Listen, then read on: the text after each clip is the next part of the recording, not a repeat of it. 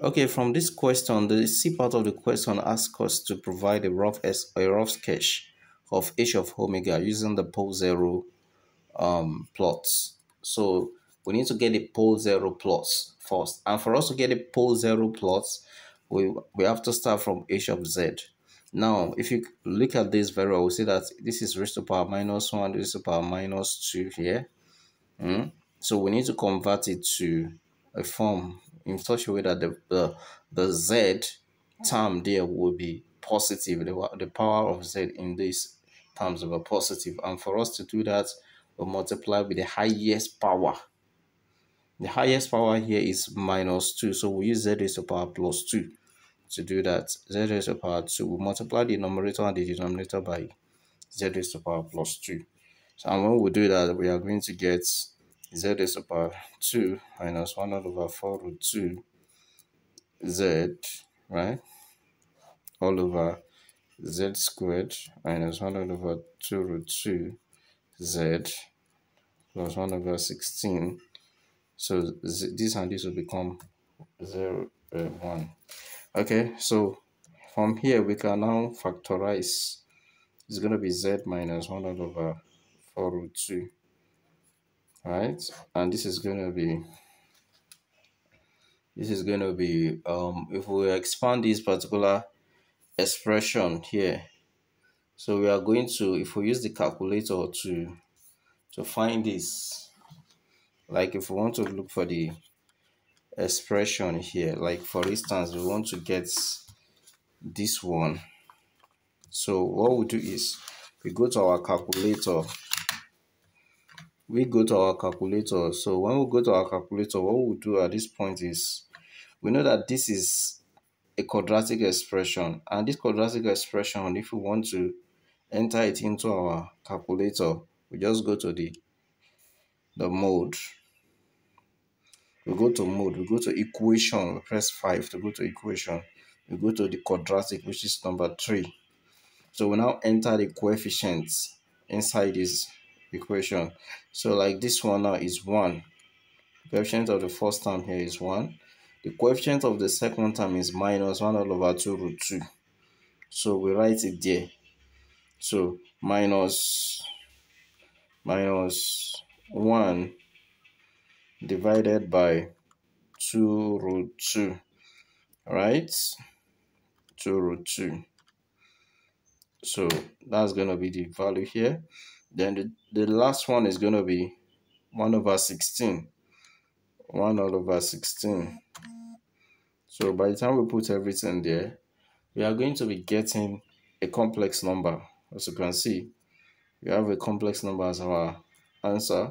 So it's going to be z minus so this is square root of 2 all over 8 plus j square root of 2 all over 8 hmm?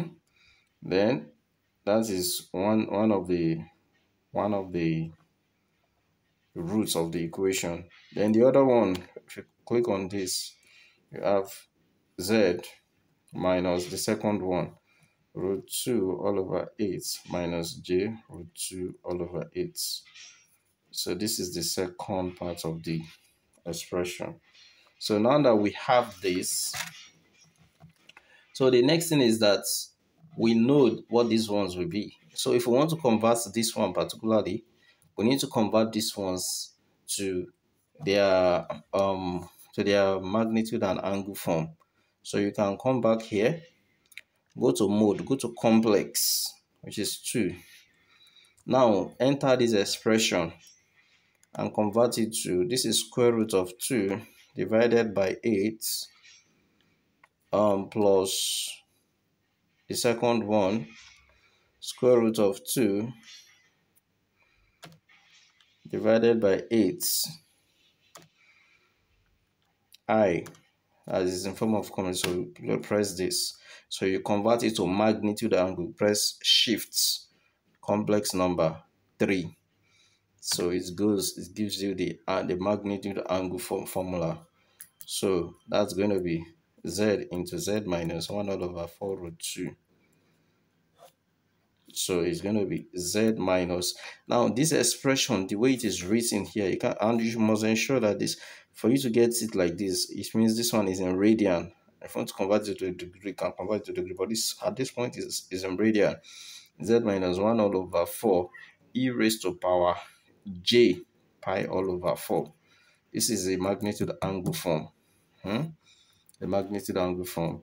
So then the second one is z minus so the other one is, is so they are they are they are complex conjugates because of that don't need to waste our time it's going to be 1 over 4 used to power minus j pi all over 4 hmm?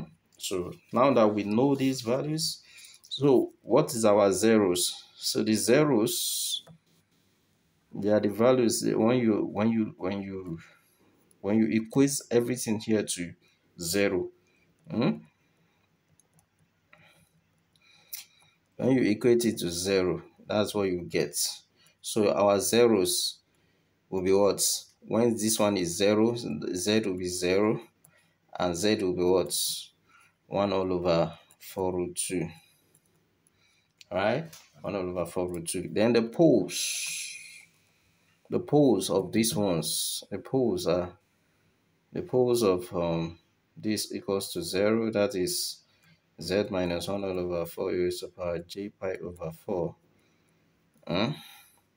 then z minus 1 over 4 raised to power minus j pi over 4 equals to 0 so when you equate this to 0 as well this is what you get. You get z equals to 1 all over 4 e raised to power j pi over 4 and uh, 1 over 4 e raised to the power j minus j pi over 4 so now that we have we have gotten our zeros, we have gotten our poles, we can draw the pole zero diagram for this.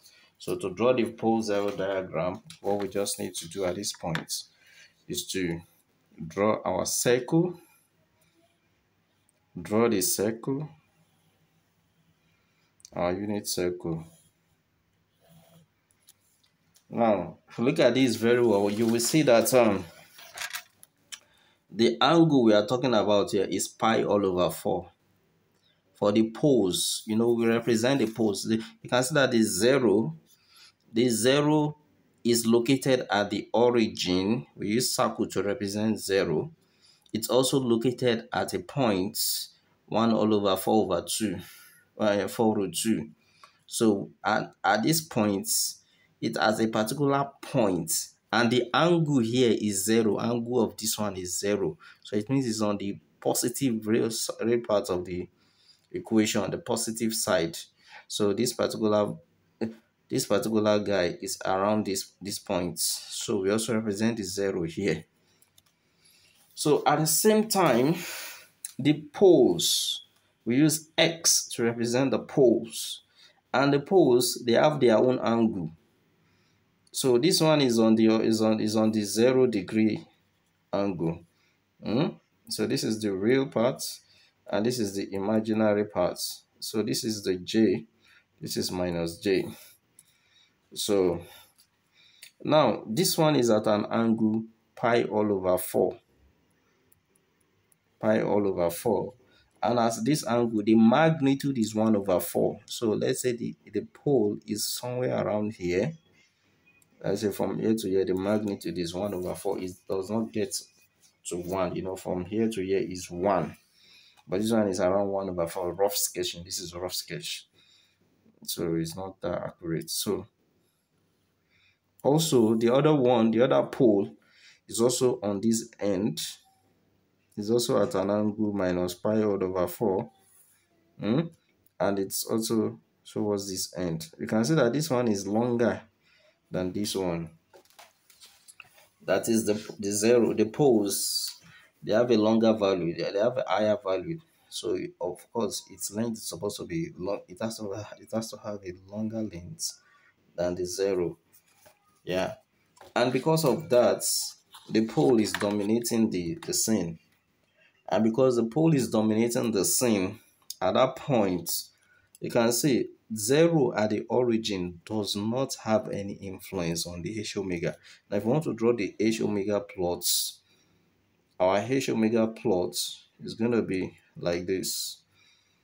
So we have pi all over 4 somewhere around here and we have minus pi over 4 somewhere around here.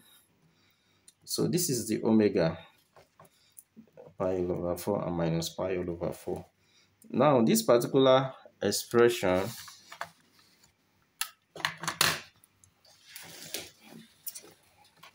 Now this particular expression we will see that um to get the angle the angle of the zero of the one on this on the zero axis as in on the real axis it's going to be somewhere around here.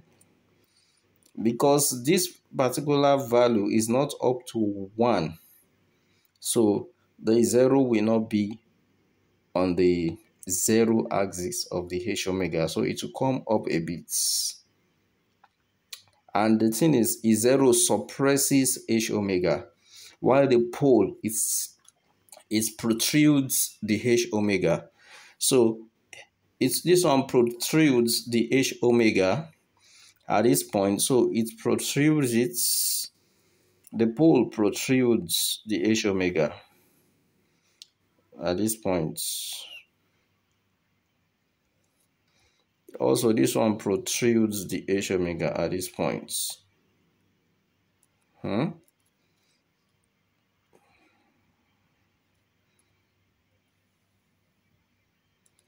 So, this is the point where the pole protrudes the H omega. It protrudes it at these points. So, the influence of the pole, you know, they tend to push the H omega up while the zero, they tend to pull the H omega down towards the the origin uh, the the the omega axis. So the pole is pulling it at angle zero. Angle zero. This is the angle zero because this one is at angle zero here. So from this angle, this uh, this is pi all over four, and this is angle ninety. So it goes continuous like that, one eighty. But this particular value here is at angle zero. That's why it is at this point. Its effect is only at this point. And this would have gone down further if this magnitude is up to 1 for instance. If the magnitude is up to 1 it would have been on this axis. But because it is not up to 1 there will be a space between these points and this one also protrudes hmm? it protrudes the curve of H omega up. Hmm? And if this one, this one, if if it's for instance at one, if this one gets up to one, then this will this will be meeting at infinity. But because it's not up to one, there is a point of um, there is a point at that point. So where there is um stick is. So this is how we draw the rough estimate of the of the pole zero yeah, of the pole zero plots.